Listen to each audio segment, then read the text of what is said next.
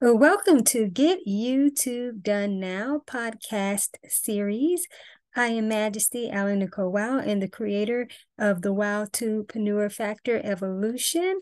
And I'm excited uh, for this segment. And I have my star Empress Celebritypreneur uh, joining me, Gina Gardiner. And uh, we're looking forward to uh, where this particular um, segment is going to go today. So uh, Gina, thank you always for being here with me uh, for this particular podcast series. You come off mute. Thank you. My pleasure. Thank you. Yes, yeah. So always, you know, we um, like to leave the space open in terms of where this can um, go and develop uh, as core themes arise, uh, as we um, seek to serve others so that they can get YouTube done, but not just get YouTube done, get YouTube done now, because that's what this uh, series is all about people getting into action and staying consistent um, with it. So, yeah, I know you're ready to get started, right? I am indeed. Okay, great, great, great, great. So, has anything been coming up uh, for you uh, more recent? Anything that you've been uh, witnessing uh, or so? Um, or would you like to just start off by just talking about the importance of getting YouTube done? Well, like anything, unless you get started, you're never going to go anywhere. It's like having a car that's got no engine. Mm-hmm. And YouTube is no different. But I think for many people, the, they want it to be perfect before they get started, or they want it um, to feel completely confident about every bit of technology before they get started. And so they just don't get started at all. For me, the focus this last week has been on lumens and creating. Mm-hmm um, using lumens that I'd already made um, and using those in a different way, repurposing them and making new lumens. Um, and I'm just now, I'm ready, I've started scheduling those uh, and I've got about 20 that will be ready to be scheduled over the next month or so. Oh, that's great. That's great. And and I've actually been um, leveraging Lumen 5s uh, more as well. And so since we're kind of talking about that already, would you like to tell a little bit about Lumen 5 in case some have not um, heard some of the other segments or even familiar with that software? It's a piece of software. There is a free version, and you can make a certain number of these during your uh, uh within the free um, uh, account during the month it's not very expensive. And if um, you want to put your own logo in rather than finishing with their logo, it's worth uh, purchasing the um, the professional, the low level professional um, subscription. It isn't very much money.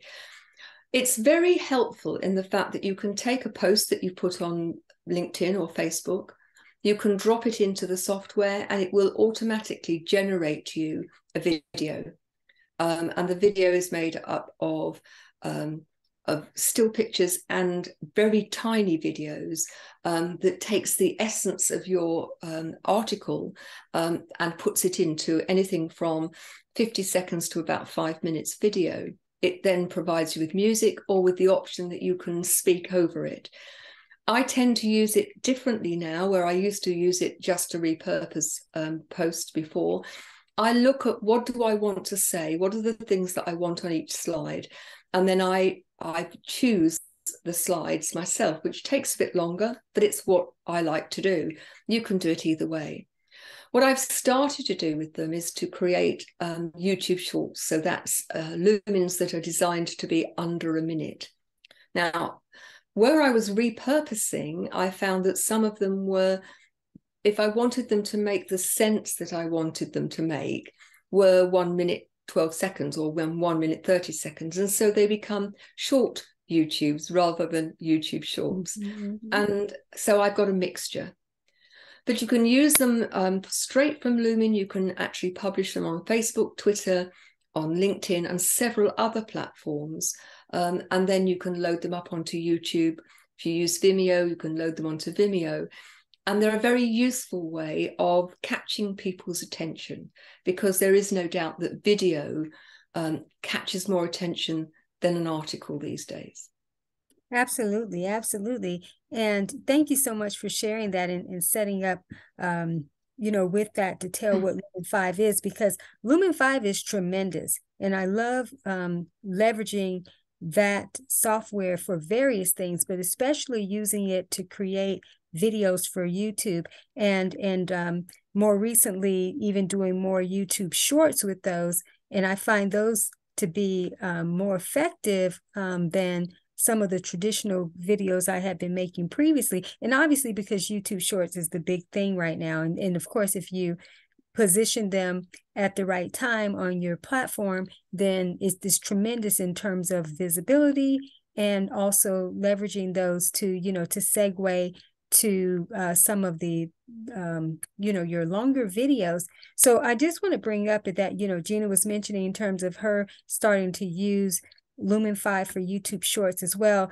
now i just want to say for those of you who aren't familiar with youtube shorts um, those are uh, vertical videos that are anywhere you know well really 60 seconds or less and um, the power of leveraging um, the shorts is, is just tremendous.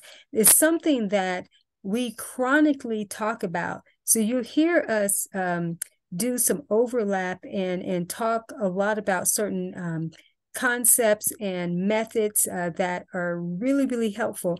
And it's a reason why we have richness with redundancy as it relates, you know, to um, certain things that we share. Where for one, anytime people are learning too, they need to take in information um, that is somewhat the same a little bit more frequently than oh i heard this i'm moving on especially if they haven't implemented it. And then also too people come in at different times to learn different things you know from this series but also it just doesn't hurt to hear certain things over and over so that it is ingrained in you so it is a part of you. It's just part of the building blocks of the fundamentals. And and also too we know gina that um, there are times where people are implementing things and then they actually go away and then they get reminded of something and then they come back to doing it so i just wanted to just you know just emphasize that that we definitely talk a lot about lumen 5 software and the power of leveraging um, youtube shorts for sure there are other ways to use them, of course. If you've got yes, lots of, of photographs, you can actually use your own photographs and upload them. You can upload your own music. Um, I'd say go and explore it and explore the free one. It costs you nothing to do that right. um, and see its potential and then decide if it's for you and you want to to buy the next, you know, the first level subscription. Oh, absolutely, absolutely. It's great advice. And and as you were mentioning earlier about using um, post content and repurposing it and you know we've talked a lot too about using your articles and blog posts too um, to do excerpts you know from there and then use that software as you're creating your um, your video use it to segue people to your longer content or so so that you know so that's very very important and the power of using youtube for this is it really is tremendous can't emphasize that enough. And so, Gina, let's talk more about the the get it done, um, you know, aspect, and if there's any other major or even minor subject topics that you want to talk mm-hmm. about. I know one point you mentioned something about technology or talking about um, that, but anything else that you want to talk about, we can so that we can serve people and give them just um, a generalization of areas that they can really start getting YouTube done because it is more than just oh let me get content and post you know there may be things that people actually need to learn about YouTube and that's getting YouTube done as well the education part so yeah so let's let's hear anything that you want to talk about around that so most people that I know that are in business think that the only way to use YouTube is to have a video about what you do, about your business. And there is a huge value uh, that you can add through using YouTube to um, either um, identify what your products are, what your publications are, who you are, and what you do. However, one of the things that I've learned by doing um, things in the way that that Ali Nicole has been suggesting is to actually broaden that out to the whole of my life. Mm-hmm. And so, particularly with YouTube shorts and short YouTube videos, the difference being YouTube shorts less than a minute, short videos between 59 seconds and about three minutes, four minutes, is I've incorporated lots of areas of my life. Mm-hmm. And interestingly, I think two things have happened. One is that I've got many more subscribers because I have reached audiences that otherwise would have not been um, available to me because what I am directly doing isn't necessarily on their radar. But as they get to know you and know your interests and start to trust that you're going to turn up because you have to be consistent about this, they then start to trust you and start to talk about you mm-hmm. and so then go and and uh, you know what you will find is that people then go and look for you on linkedin or on facebook so there becomes this coordinated um, mm-hmm. view of you it's not uh, a one size fits all and the business of getting it done, I think so many of us procrastinate when it's something new and we're a bit nervous. And so initially, I just went through my phone and I looked at videos of my holidays, of my pet, of my friends, animals that I have um, contact with. And I uploaded those as YouTube shorts. And there is a facility on your phone when you upload them for YouTube itself to tailor them into a short. And they'll just take the first 56 to 59 seconds. And so there'll be lots of things I have no doubt that you already have on your phone that you can very easily load up. And I, I, I set myself the task of doing that. I had 69 videos that initially that I thought was suitable. And I just uploaded them onto YouTube. And then I went back later and put in things like hashtags and descriptions and links to other things and those can be scheduled. You can let them go off straight away, or you can schedule them months ahead. Mm-hmm. And so I set aside a Saturday where I was going to upload them.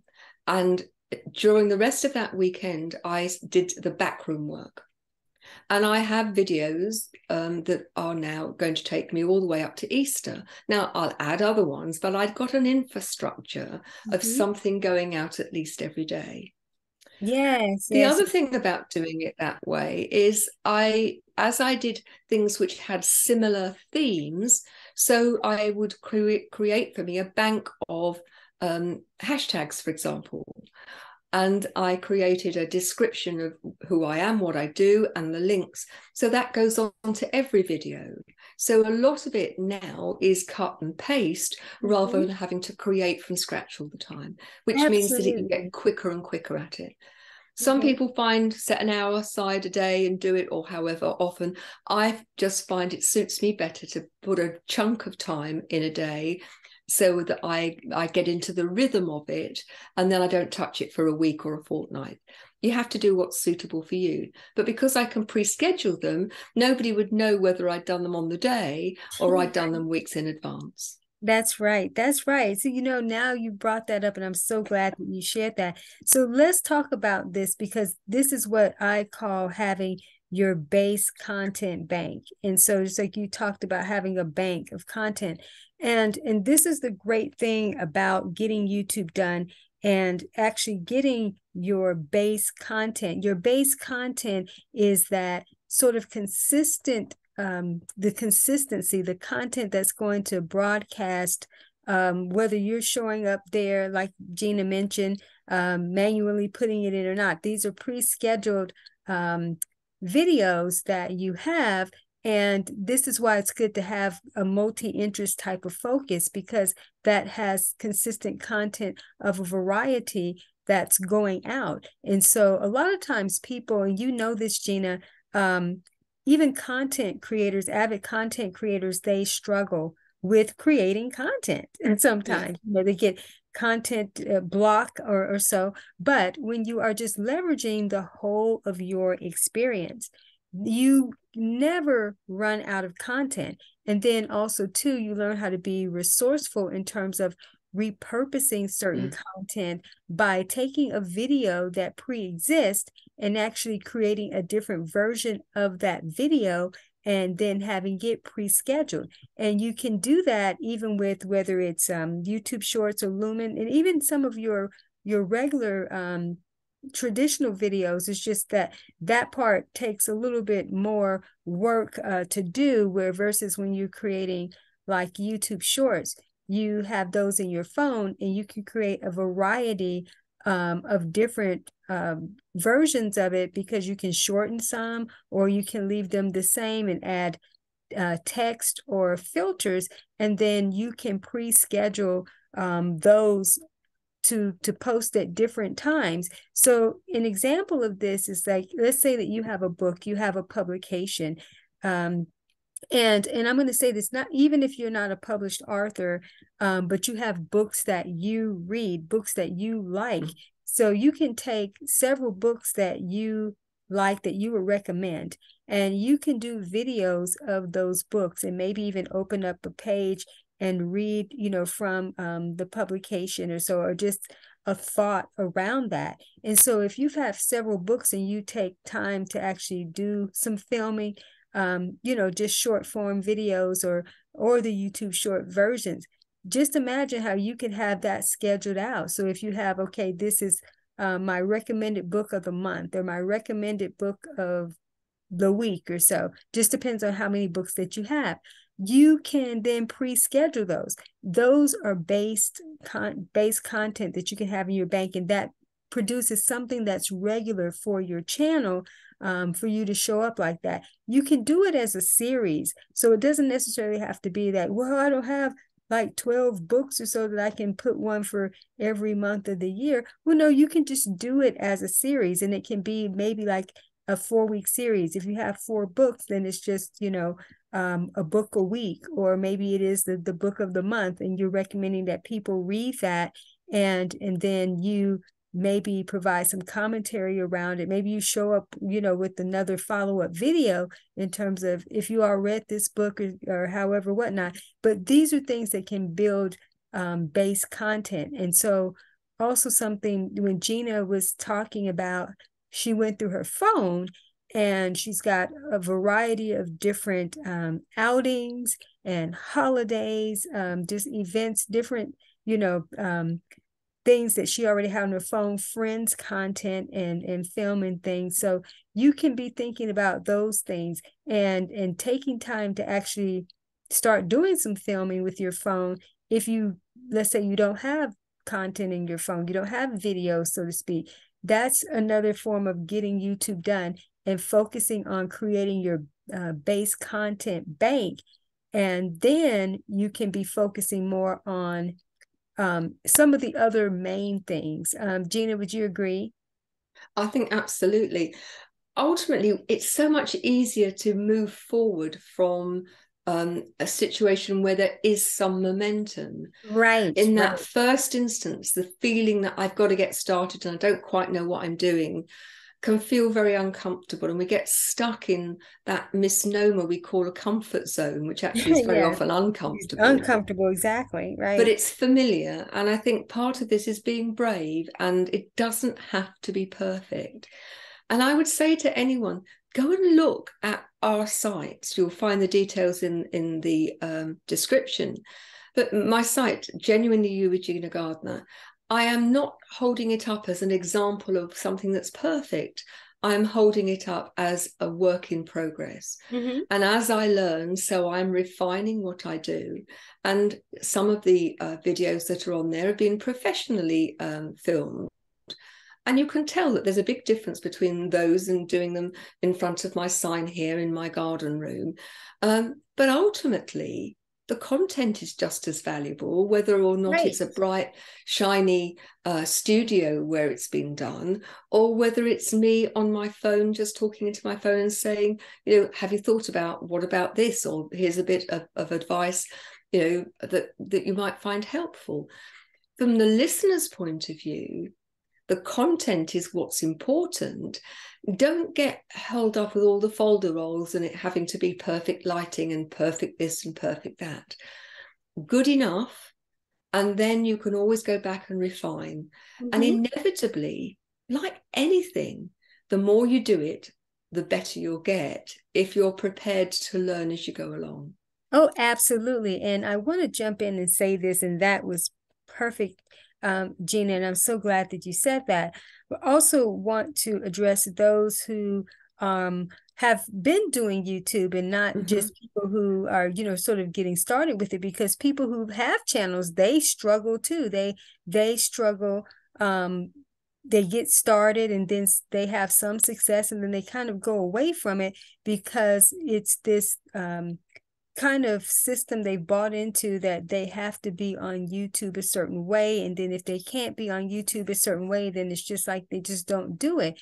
But uh, a lot of people aren't leveraging the uh, pre scheduling advantage and also being able to come up with base content that is different from their you know traditional um, content. And so I just want to say to those of you who um, are either restarting with YouTube or you have a YouTube channel, you've kind of put it down for a little bit, or you just kind of it's kind of a slow thing, you know, for you at this point, is is definitely take time out to um, start building up your content uh, bank uh, and having that base content and and not being so married, so to speak, to what you think your channel is primarily about or and what you even feature your channel to be about. Yes, it, it can be about that, but your base content can mm-hmm. be some of the other aspects and elements of your personal branding that then you marry that with your professional branding. So that's that's something else, uh, Gina. You know that we we've been talking about mm-hmm. this. I just want to clarify it a little bit more. Is that yeah, your your base content doesn't always necessarily have to be no. the content that you are you know producing for your your kind of main thing you just want to be able to have something that is um is very consistent for um for your audience with diversity but also um, the algorithm trustability, so to speak, with you know with YouTube. But you actually want to be able to draw other people into your channel um, with who have an interest in a variety of things just versus what you think your main focus is. Because gina you hear me talk about this often. We are all multi-interest beings and yes. so, even though people build a channel that is primarily focused on their core concept or their niche or so, however, but they they're forgetting that. But people are people, and people have a variety of interests, and they don't only just have an interest in um, just the one thing that your channel provides. That's just what you're providing. But guess what? They're on other people's channels for something else. But mm-hmm. you can have um, a one-stop shop type of uh, channel for certain things where people are more so on your channel. So even during the times where you aren't posting um, what is your main theme of the channel, you still have other things that are interesting to them that they'll come to your channel for, or you can use those to segue them to something else that you do. So Gina, you know, you want to talk a little bit more about that, or would you like to go in a different direction now? Uh, I think uh, there is no doubt that when you start to broaden out what you offer, you will also broaden out the audience that's mm-hmm. watching. And inevitably, people watch YouTube for all sorts of reasons. A lot of people perhaps go on there to look um, for things in their personal time, and they wouldn't necessarily mm-hmm. go and my work is all about empowerment and transformational leadership. And uh, and you know profitable uh, business leaders for example well they may not want to look at that in the evening but they may have a particular thing about cats or dogs or mm-hmm. travel. And then when they come onto the site they see well you also do leadership stuff and you also do stuff for empaths and you also do this. And so they're drawn in so the the video that brings them in isn't necessarily the video that will keep them there. That's right. Mm-hmm. It's just opening a door. The other thing on a different track that I wanted to, to just mention. Yeah. The scheduling is really useful. And one of the things that I did quite early on is I don't like to put to create something that's going to to give me a headache in terms of being consistent because one of the things that I'm very clear about is it's the consistent actions taken which are much more effective than the grand gestures so you talked mm-hmm. about people um, using youtube and getting tired that often they go in with the grand gesture but they don't mm-hmm. create something that they can do consistently Right. So one of the things that I will do, so that Saturday morning when I I I, um, I actually um, fed 69 short videos into YouTube, I hadn't done the hashtags, I hadn't done um, the descriptions or any links. So I didn't schedule them. I just left them as private until I could go in on a, a, a separate day and go and do all the background work. And then I scheduled them so that they were consistent. Mm-hmm. So you left them in draft. Right. I left them in uh, um, just on public. Well, uh, private is is the, um, uh, the, the three categories are private, public with a link, um, or or that they're published and they're open to anybody. And I just left them as private until I was ready for them to be seen because I'd topped and tailed them and done all of the other mm-hmm. things. So you can, I think it's about making this technology work for you. Yeah. Be definitely. the dog and use it as the tail rather than right. it being the thing that that directs everything that you've got to right. do. Right. And get organized. And you know, if you get mm-hmm. yourself organized and perhaps spend, you know, a couple of weeks getting yourself organized. And I like to be ahead. So I don't like to be um, really uh, constantly flying by the seat of my pants to to reach the deadlines that I set myself or the things that I want to do. So I like to be ahead and then have the comfort of knowing that if I want to take a couple of days or want to something else crops up that I'm I'm not losing the momentum of posting right. on a regular basis. Mm-hmm. Well stated. Well stated. Yes, and very important to bring that out for sure. Um, and you know how they say consistency is key, right? Mm-hmm. um, and and it is. And doing the I, well, I don't like to really put things so much in the category of right or wrong, so to speak. It's just that there are better ways to do things, and and I think that when we get in and we're doing the the laboratory um, for YouTube and the experiment, we learn how to um, the better and best ways, you know, to do things. And the reason why I bring that up is because though consistency is key, there there also needs to be um, some level of accuracy that's built in that's mm-hmm. measurable mm-hmm. because it's not just of oh I'm consistent but I'm consistent I'm not really seeing anything happen but I'm being consistent and yes there are times where it does take some time for things to build, but you'll learn the right, um, the accurate way to show up. And also, too, something I want to bring up is that you also have to be intuitive with this as well, because one of the things that I know in terms of even with the scheduling, um, and there are times where I actually give pause with my scheduling so I can get kind of a good feel in terms of where the algorithms are shifting mm-hmm. um, so that because there are times where if i just continue to do it at the times that uh, i normally do it then i could not um, be um, you know in sync with the algorithms and it's like content just posting but is anybody really seeing it just because i have it scheduled? So that's you know things that you have to think about too and this comes um and before we get ready to close i definitely wanted to emphasize this um this is why it is important too to stay on top of what's going on with youtube and learn um, things about youtube other than just okay i've learned how to post i've learned how to schedule i've got some things done you also have to be in sync with what's actually going on. So sometimes you can learn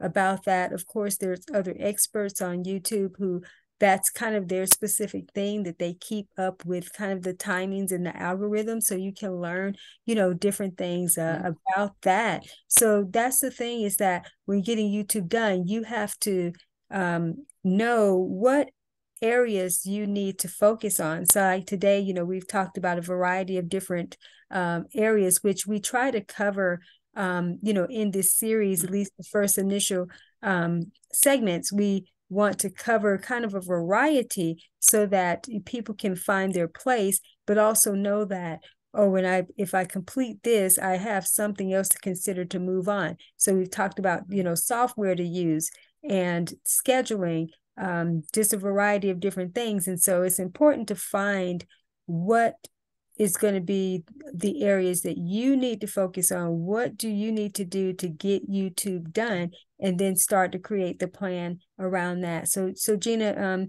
your your thoughts about that before we get ready to close out? yeah i'd just like to make the distinction between being mm-hmm. consistent in terms of of your posting does not mean that you do the same sort of thing at the same sort of time in the same sort of mm-hmm. way right, it right. just means that there is a presence uh, yes uh, on a consistent basis and Absolutely. what i would say i'm still in and i think i don't think it's going to change in the experimentation of you know, will certain videos do better if I post them in, I'm in the UK, for example, do they do better if I post them in the morning in the UK? Or do I get a better um, level of engagement if I post them morning time Pacific, for example? Mm-hmm.